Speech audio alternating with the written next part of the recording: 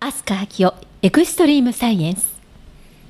飛鳥ゼミナール22それでは飛鳥先生よろしくお願いいたします。よろしく。お願いしますお。久しぶりです ね。はい2ヶ月ぶりです。そうですねで、えー今あのこの前説と言いましょうかここでご紹介したように、今回から二部構成ということでだいだね。新しい試みなんですよ、うん、まあ好評でしたらこの形ね。不好評でしたら元に戻すと。今回限りという 貴重な生放送になるわけで、はい、よろしくお願いいたします。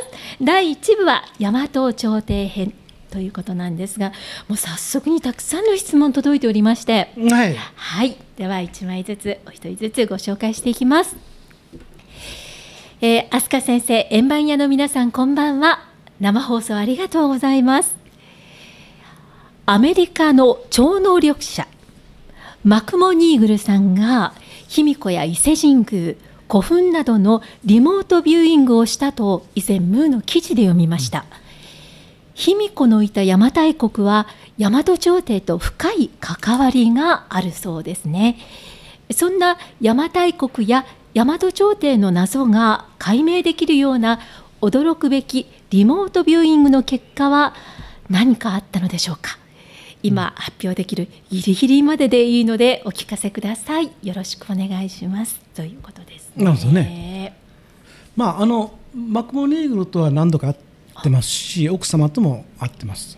でえ、面白いことでマクモニーグルってあんまりこう喋ると奥様がちょっと止めるんで、奥様がそれうまく。うん、だからうん面白いなと思って。えー、そうなんうんですか、、マクモも女性には勝てないかと。もしかして奥様もそういった力をお持ちなんでしょうか？うん、それは聞いてないね。あただおそらくはある程度のことは情報として知ってるんじゃないかな。なるほど、うん。そこで。まあ、ちの FBI とは言っててもやっぱり一応政府の方のまあ軍だね。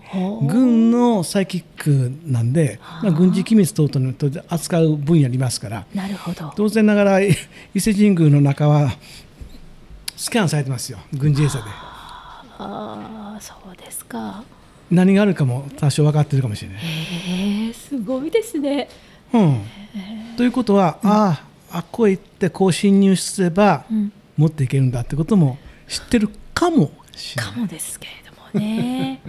はい。で、えー卑弥呼のいた邪馬台国は大和朝廷と深い関わりがあるそうですねと。あそうですね。はい。うんうんうんうん。まあマクモニーが言ってる通り卑弥呼っていうのはやっぱりあのハーフっていうかな。